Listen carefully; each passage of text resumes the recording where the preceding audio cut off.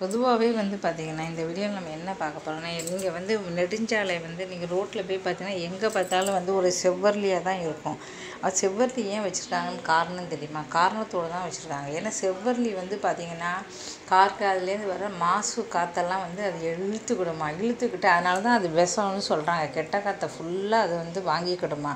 அதனால தான் அப்போவே வந்து இந்த அரளி வந்து வெ விஷம் அப்படின்ட்டு சொல்லியிருக்காங்க. ஏன்னா அந்த கெட்ட காற்றை ஃபுல்லாக உள்ளே எடுத்துகிட்டு நமக்கு வந்து அது ஒரு நல்ல ஒரு சுத்தமான ஒரு காற்றை வந்து கொடுக்குது. அதுக்கு தான் வந்து ரோடு எல்லாமே வந்து இந்த சோப்பர்லி அரளி வச்சுருக்காங்களாம் இது வந்து அது மட்டும் கிடையாது. நமக்கு ஒரு சுத்தமான ஒரு காற்றை வந்து நமக்கு வந்து அதை எடுத்துக்கிட்டு நமக்கு ஒரு சுத்தமான ஒரு காற்றை நமக்கு வந்து சாஸ் கொடுத்து அதனால தான் வந்து வந்து பார்த்திங்கன்னா ரோட்டில் எங்கே பார்த்தாலும் சரி கார்கள் வர இடத்துல அதே மட்டும் இல்லாமல் அந்த அதிகமான ஒரு சவுண்டை கூட அது இழுத்துக்கிடுமா? அதிகமான கார்கள்லேருந்து வர சவுண்டை கூட அது என்ன பண்ணுமா?